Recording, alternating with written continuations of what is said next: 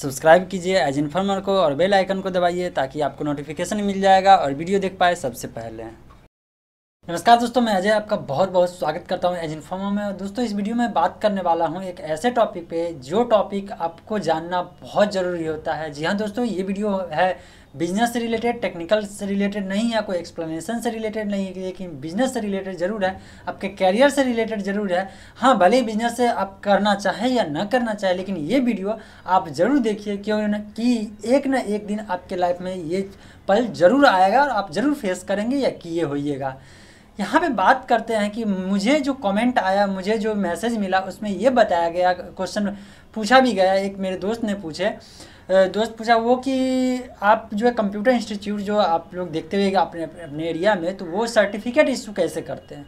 वो दोस्त चाहते हैं क्या कि वो सर्टिफिकेट इशू करे और वो सिंपली हमसे ये सवाल पूछ दिए क्या जो ये उद्योग आधार से रजिस्ट्रेशन करके क्या कंप्यूटर इंस्टीट्यूट खोला जा सकता है? कंप्यूटर इंस्टीट्यूट का सर्टिफिकेट इश्यू किया जा सकता है। तो दोस्तों, मैं सबसे पहले ये क्लियर करना चाहता हूँ कि अगर आप सिर्फ़ कंप्यूटर इंस्टीट्यूट खोलना चाहते हैं तो उद्योग आधार से कंप्यूटर इंस्टीट्यूट खोल सकते हैं। उसके लिए उद्योग आधार अगर है तो बहुत अच्छी बात है, नहीं तो आप जिला उद्योग केंद्र से अगर खोलना है तो वहाँ से खोलिए, कहीं से भी एक रजिस्ट्रेशन ले लीजिए। यहाँ पे एक चीज़ और मेंशन किया गया कि यहाँ पे फ्रेंचाइजी की बात ना बताया जाए, कि कहीं से सर्टिफिकेट के लिए जो फ्रेंचाइज कर देते हैं तो वो ऑप्शन नहीं बताया। वो तो सिंपल है, वो आप लोग जानते हैं नहीं जानते तो मैं अलग से सेपरेट बना दूँगा।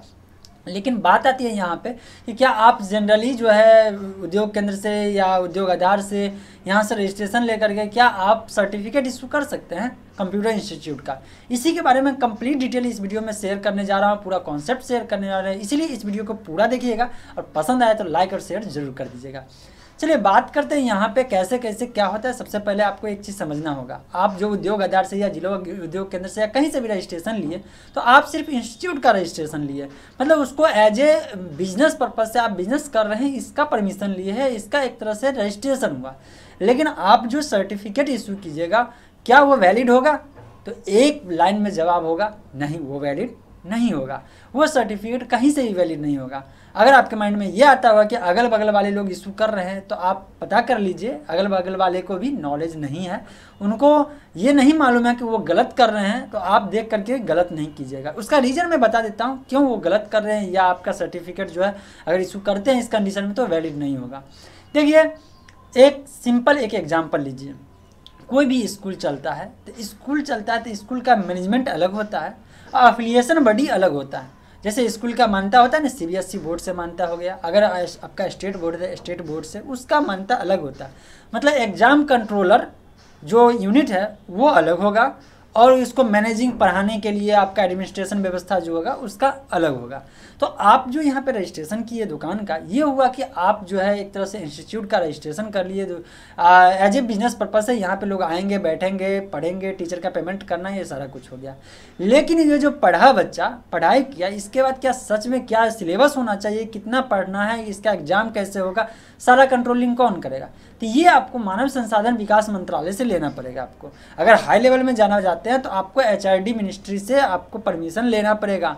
आईटी डिपार्टमेंट से आपको परमिशन लेना पड़ेगा। तब टेक्निकल डिग्री आप दे सकते हैं। जैसे कि आप लोग इंजीनियरिंग कॉलेज में सुनते हुए ए ए जो होता है, वो जो है टेक्निकल एफिलिएशन बॉडी होता है। इसी तरह से अगर बीएड कॉलेज होता है, ऐसे एनसीटीई है, चूँकि हम हम लोग के पास जो है, हमारे फैमिली में बीएड कॉलेज डी कॉलेज है तो मैं जानता हूँ कि क्या क्या कैसे कैसे एफिलिएशन बडी होता है? एफिलिएशन बडी अलग होता है एग्ज़ाम कंट्रोलिंग बडी अलग होता है, ये सारे चीज़ होता है।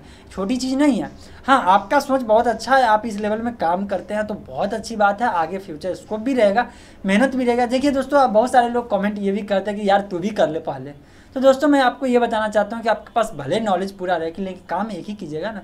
जिस पर्पज़ से आप जो है काम कर रहे हैं, उस पर्पज़ पे लगे रहिए। ऐसा नहीं है कि दस चीज़ का नॉलेज आता है, दसों चीज़ हम करना शुरू कर दे, पता चला कुछ में भी ना कर पाए। इसी तरह से मेरे पास नॉलेज है मेरे फैमिली में बहुत सारे लोग हैं जो अलग अलग यूनिट में काम कर रहे हैं अलग अलग बिज़नेस से रिलेटेड है तो मुझे उतना नॉलेज है। और मैं हमेशा से कोशिश करता हूँ कि इस नॉलेज का यूज़ जो है हम अपने व्यूअर हम अपने दोस्तों के साथ जो है शेयर कर सके ताकि उनको भी नॉलेज मिले और हो सकता है उसमें से कोई एक चीज़ क्लिक कर जाए तो वो आगे बढ़ के काम करना शुरू कर देते हैं। तो आप यहाँ पे सोच के बताइए कि क्या आप सर्टिफिकेट जो इशू करते हैं तो क्या वो वैलिड होगा?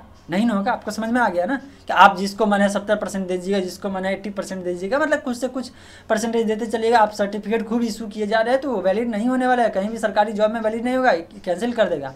अब मैं आपको प्रॉपर वे बताता हूँ। सबसे पहले आप एक ट्रस्ट रजिस्ट्रेशन कीजिए। अगर एजुकेशन सिस्टम में काम करना चाहते हैं तो सबसे बढ़िया। अगर आपको ट्रस्ट रजिस्ट्रेशन नहीं मालूम है मैं बहुत पहले बिज़नेस से रिलेटेड जब वीडियो बनाना शुरू किया था उसी समय मैं बताया था कि ट्रस्ट क्या है, कैसे रजिस्ट्रेशन होगा। आपको जैसे ज़मीन का रजिस्ट्री होता है, वैसे रजिस्ट्री ऑफ़िस से ट्रस्ट का रजिस्ट्रेशन करना होगा। एक और कमेंट आया था कि मैं ट्रस्ट का रजिस्ट्रेशन कर लिया, अब मैं कैसे इनकम करूँ? अरे भैया, आप ट्रस्ट का रजिस्ट्रेशन किए हैं। आप वो बिज़नेस करने के लिए, जो क्या कहते हैं प्राइवेट लिमिटेड कंपनी या कोई सर्विस नहीं प्रोवाइड कर रहे जो आपको सरकार उस पर लोन दे देगा, ये होता है। बहुत सारे लोग कन्फ्यूज़ करते हैं। मुझे हँसी भी आती है, लेकिन मुझे ये अंदर से खुशी मिलती है कि बहुत सारे लोग नहीं जानते, उनको मैं बताने के लिए हूँ। जैसे शुरू शुरू में मेरे पास नहीं था कोई बताने के लिए, लेकिन मेरे घर में जो माहौल था, ऐसा बिज़नेस में फैमिली है, तब तो मैं जान पाया। लेकिन बहुत सारे ऐसे मेरे दोस्त होंगे जो इनको नॉलेज नहीं है, और वो बस फंसे रह जाते हैं, उनको कोई बताता नहीं के लिए। तो इसके लिए मेरा, देखिए, ये वीडियो थोड़ा लंबा जाएगा नो डाउट लेकिन वीडियो देखिएगा। ठीक है। तो इसीलिए दोस्तों मैं आपको बताता हूँ, सबसे पहले आप ट्रस्ट रजिस्ट्रेशन कीजिए।